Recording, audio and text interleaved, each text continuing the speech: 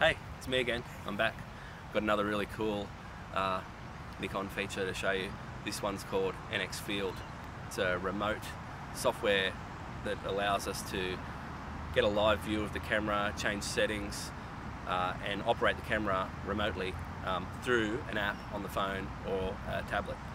Um, I'll show you now. So I'm just going to uh, run you through the quick setup of NX Field, which is a uh, a, a, remote application which allows you to remotely control um, Nikon camera.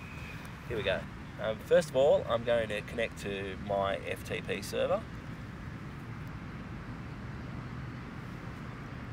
And this is connecting through a wireless hotspot, 5G, which is currently behind me.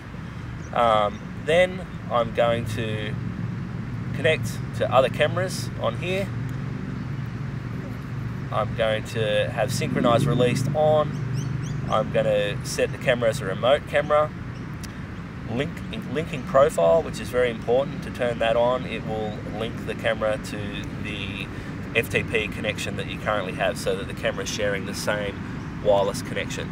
Now you go into your phone, turn your phone on, go to your NX Field app, and we'll switch that on there we go, it's found the camera straight away.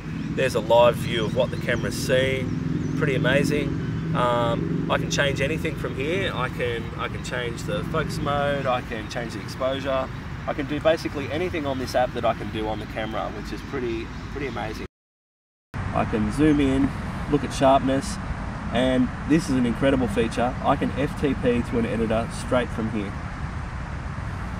This is going to start the FTP process. This transfer icon shows up and when the image is transferred that will go blue. Here we've got the blue icon showing that the file is transferred successfully. So that's pretty incredible.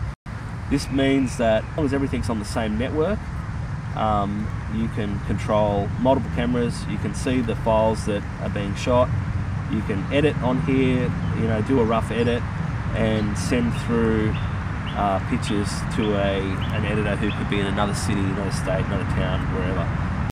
This is this is going to change the game for remote shooting for photographers.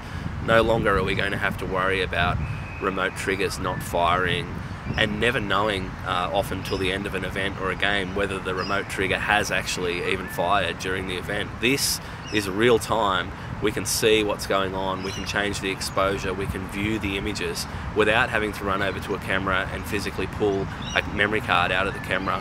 Um, this is amazing. Um, this is this is going to make a huge difference to the way that big news agencies cover big events.